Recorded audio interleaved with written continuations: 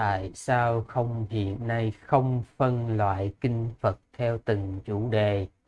Mỗi chủ đề trong cuộc sống sẽ tìm và gộp những đoạn kinh riêng lẻ, phù hợp với từng chủ đề trong đại tạng kinh lại với nhau. Khi đó, phật tử lẫn cái, các học giả, nhà nghiên cứu hay nhiều thành phần trong xã hội sẽ dễ dàng tìm và đọc, giải quyết nhu cầu của mình thay vì mất công và thời gian thỉnh và tìm hiểu cả một bộ đại tạng kinh vì thay vì đó họ chỉ cần tìm một cuốn sách về từng chủ đề đã được phân loại. Ờ, có um, ngài ờ, uh, bố thí ngài bố thí uh, có làm một cái quyển tương tự như vậy tức là ngài có chia ra làm uh, nhiều cái chủ đề. Mà mỗi chủ đề đó mỗi chủ đề À, là nó có à, nó có những cái bài kinh liên quan. Quý vị tìm sẽ có à, sẽ có một quyển. Tỳ khu bô thi. Tỳ khu bô thi những lời phật dạy. Đây nào quý vị thấy ở trên cái, cái góc bên à, mình sẽ cái góc bên tay phải đó góc bên tay phải cái cái quyển à, cái cái ở trên à, cái, cái cái quyển là những lời Phật dạy đó. Đấy.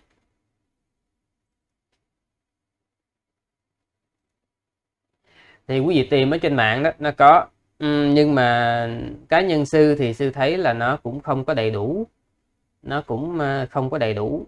Ờ, và nó cũng có một số cái ờ, một số cái mà mình cũng có thể mình thêm vào. Ví dụ như nói về mẹ nè nói về cha nè hoặc là nói về con chó nè, nói về con mèo nè nói về căn nhà nè à, rồi nói về uh, cái này cái kia thì trong trường hợp như vậy đó sư chỉ cho quý vị một cách. Thay vì quý vị đi um, chờ ha thay vì chờ thì mình có cách.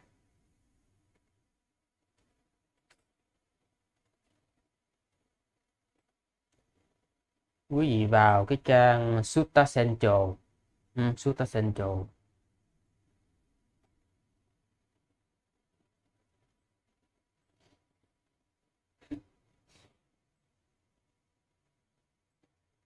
đây sutacentral.net ha. Sutacentral.net rồi quý vị bấm vào cái cái nút tìm kiếm nút tìm kiếm.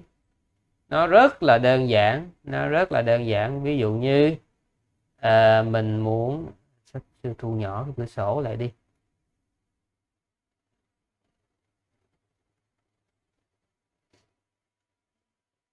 Ừ à, ví dụ như mình tìm à, mẹ và cha. À, đây. Thì mình sẽ ra những cái bài kinh có liên quan đến mẹ và cha ha đấy hoặc kinh nuôi dưỡng mẹ nè. Đấy. À, rồi kinh bằng với phạm thiên này. Rồi kinh mất gốc này. Đấy. Đấy nó có ha rồi mình muốn coi cái bài kinh nào thì mình bấm vào cái bài kinh đó. Ha đấy đấy thấy chưa? Đấy giới của đấy. Rất là nhiều nha rất là nhiều. Đấy đấy rất là nhiều. À, mình muốn có cái chủ đề gì là mình cứ bấm vào đó nó có nó có đủ. Rồi thí dụ như mình muốn tìm cái chủ đề về um, à, ví dụ như làm ăn đi mình bỏ trong cái dấu ví dụ như là làm ăn. Thí dụ ví dụ không biết có không? À đây có nè đây. À, cái hành động làm ăn trộm không phải. Làm ăn hoặc là mình nghề nghiệp đi nghề nghiệp. Cái quan trọng là mình biết được mình có cái thủ thuật. Uh, thủ thuật đưa ra cái um, cái cái keyword cái, cái keyword để mình tìm kiếm á. nghề nghiệp. Ừ. đây. Nghề nghiệp. Ừ. đấy. Đấy nghề nghiệp ừ, nghề nghiệp. À, cái này là tại vì ở đây là có hỗ trợ tìm tiếng Việt chứ còn thực tế đó cái cách tìm của sư á cách tìm của sư. Đây ví dụ như đây này đại kinh khổ uẩn này đấy thấy chưa? Nghề nghiệp này à, ờ, cách tìm của sư á, là sư muốn tìm một cái chủ đề gì thì sư cũng tìm đầu tiên sư sẽ tìm như vậy. Nếu ờ, nhưng mà sư sẽ quay ngược cái lại sư ví dụ như uh, đây. Ờ, ờ, Ồ, phải cái này. Như cái cái này đi. Nghề nghiệp. Đây nghề nghiệp phải không? Mình tìm. Thì ở đây nè nó sẽ chuyển mình sẽ chuyển qua cái Bali. Đấy cái từ Bali. Rồi sư sẽ copy cái từ Bali đó sự dán nó lên trên đây.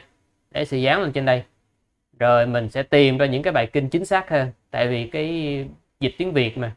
Dịch tiếng Việt thì uh, mỗi vị muốn dịch theo một kiểu ha, mỗi vị muốn dịch theo một kiểu. Đấy. À, cho nên á, là quý vị mà muốn có theo cái chủ đề đó ha muốn theo cái chủ đề thì ờ, với bây giờ thì thay vì mình xuất bản một cái quyển sách nó tốn tốn công tốn của ha nó tốn công tốn của à, thì mình có thể à, lên trang Suta Central. Mình tìm dựa theo cái keyword của mình. Hoặc ví dụ như hôm nào mình tham ái nhiều quá tham ái mình gõ nếu mà mình biết Bali mình gõ từ ra gá ra gá ra gá. Đấy ra gá. Đây thì có những cái bài kinh mà liên quan tới raga ha. Nhiều lắm ha nhiều lắm. Rồi um, mình bấm vô bấm vô bấm vô. Rồi ở đây nè. Bấm vô ở đây nè. Có bản dịch tiếng Việt. Đây có bản dịch tiếng Việt. Bản dịch tiếng Việt. Xuống xuống. Đây bản dịch tiếng Việt. Thấy chưa? Thấy chưa? Đấy. Hoặc là hôm nào mình muốn ờ, tìm cái từ là um, mẹ và cha mà tạp với tú.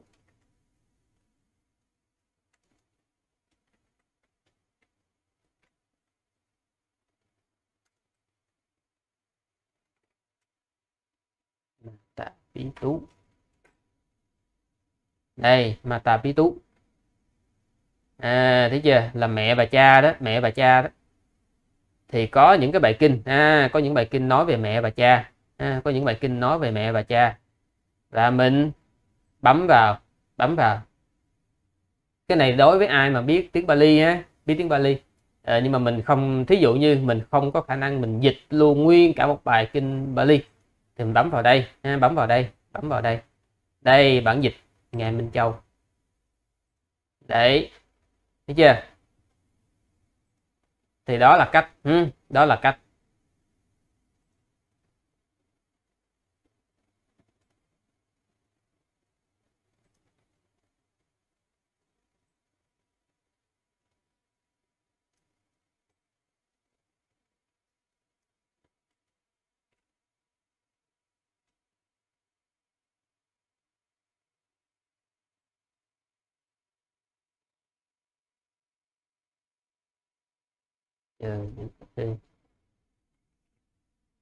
Có phải trên thế giới hiện nay chỉ có Việt Nam là Phật giáo mang màu sắc văn hóa riêng biệt, thậm chí đặc biệt nhất và duy nhất?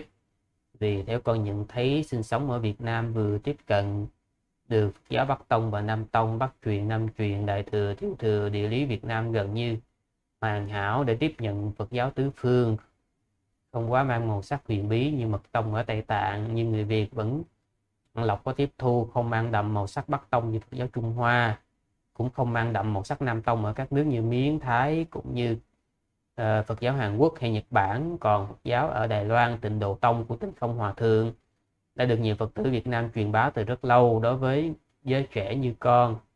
Một phần ảnh hưởng từ sự tiếp cận từ Phật giáo truyền thống thời nay lại có cơ hội quý giá. Được tiếp cận giáo lý từ Nam Tông Đại Tạng Kinh Nikaya gần như là cơ hội mà thế hệ cha ông khác không có được nếu sinh ra Tây Tạng hay những vùng Himalaya thì có thể đã bị đàn áp tôn giáo vì vấn đề chính trị. Nếu sinh ra Trung Quốc thì có lẽ không được tiếp cận Phật giáo Nam Tông hay đọc được Đại Tạng Kinh Nikaya. Nếu sinh ra ở những nước như Thái Miến thì có lẽ không tiếp cận được với Phật giáo Bắc Tông. Điều mà gần như ảnh hưởng tới văn hóa Việt Nam rất mạnh trở thành một điều không thể thiếu. Cái này nói sao thì sẽ đọc lại vậy nha. Nếu sinh ra ở Việt ở Nhật Bản lẫn Hàn Quốc thì có lẽ đã bị những tôn giáo khác chiếm ưu thế và ảnh hưởng. Không có duyên lành gặp được Phật pháp. À, nếu sinh ra ở Đài Loan à, thì có lẽ chỉ tiếp cận được Phật giáo theo trình độ tông gắn liền rất chặt chẽ với giáo dục truyền thống của người Trung Quốc gần như không tách rời. Còn sinh ra ở nước như Mông Cổ, Sri Lanka hay Bhutan thậm chí hiện nay Việt Nam còn tiếp cận được nhiều tôn giáo khác như Công giáo, Tinh lành, Tín đồ Hồi giáo ở vùng An Giang và nhiều tôn giáo khác bản địa như Cao Đài, Hòa Hảo. Cho nên yếu tố thuận lợi của văn hóa chính trị địa lý cho nên người Việt Nam hiện nay gần như là tiếp cận được giáo tòa hoàn toàn đặc biệt so với phần lớn Phật tử trên toàn thế giới. Cái này là ý kiến cá nhân của quý vị thôi. Hả? Ờ, nói nó nó hơi kỳ nó hơi kỳ. Ở nơi nào á, ở nơi nào á mà có dừa, mà có, dừa có rắn và dừa có rồng á, thì người ta dùng một cái câu, đó là lông xà hỗn tạp. Ừ. ở đâu mà vừa có vàng, mà vừa có đồng. Đồng thì nó cũng sáng bóng như vàng vậy đó. Mà ở đâu á, có cả đồng lẫn vàng, thì người ta gọi đó là vàng thâu lẫn lộn à, còn ờ, mình á thì mình ở Việt Nam thì mình phải khen Việt Nam. À, mà cái câu này người ta cũng có nói là mèo khen mèo dài đuôi.